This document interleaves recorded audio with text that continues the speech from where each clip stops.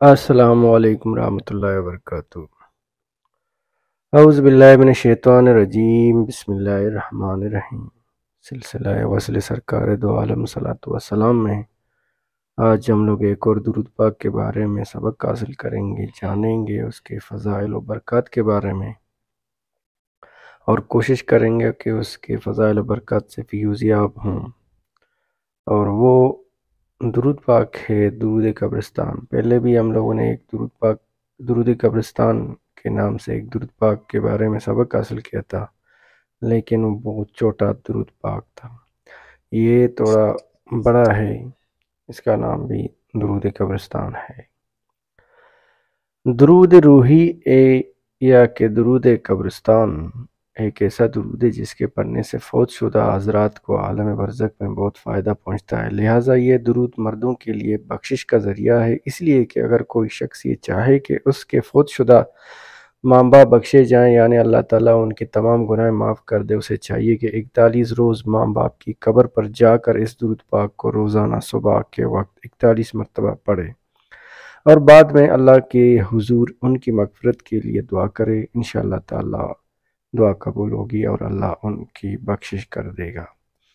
اور عالم برزق میں ان کی قبر کو مثل جنت بنا دے گا۔ اس درود کا سب سے بڑا فائدہ یہ ہے کہ قبرستان میں اسے پڑھنے سے روحوں کو عذاب سے نجات ملتی ہے۔ لہٰذا جب کوئی قبرستان میں زیارت قبر کے لیے جائے تو اسے چاہیے کہ وہاں یہ درود پاک ایک مرتبہ لازمی پڑھے۔ اور درود قبرستان یہ ہے، اعوذ باللہ من الشیطان الرجیم۔ بسم اللہ الرحمن الرحیم۔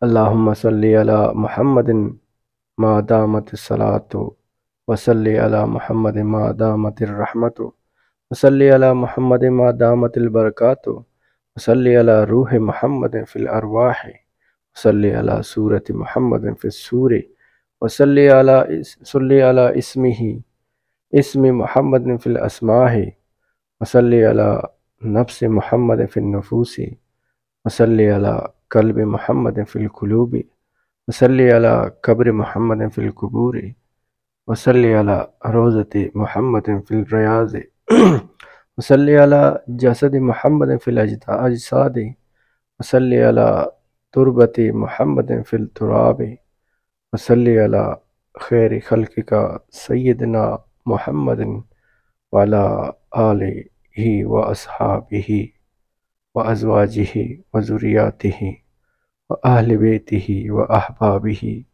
اجمعین برامتک یا ارحم الراحمین یہ ہے درود پاک، درود قبرستان. اس درود پاک کا ورد کرتے رہیں، کیونکہ درود پاک وہ حمل ہے جس کے ذریعے ایک عام انسان اپنا وصل سرکار دو عالم صلاۃ والسلام کے ساتھ قائم کر سکتا ہے۔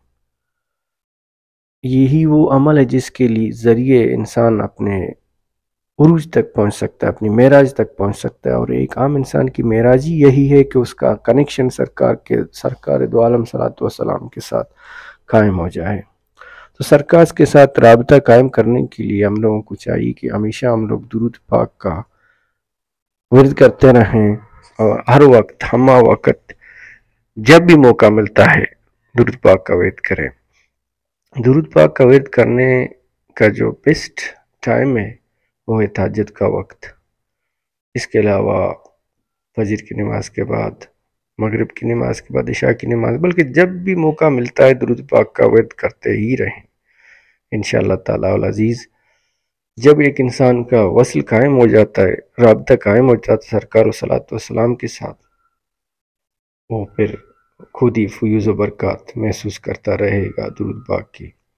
درود پاک پڑھنے والے کے لیے جو ظاہری فوائد ہیں وہ یہ ہیں کہ اس کو نفسانی، جسمانی، روحانی سارے بیماریوں سے اللہ پاک اس کو نجات دلائیں گے۔ وہ کبھی کسی کا محتاج نہیں ہوگا، اس کے علاوہ اس کو اہل اسرار بنا دیں گے۔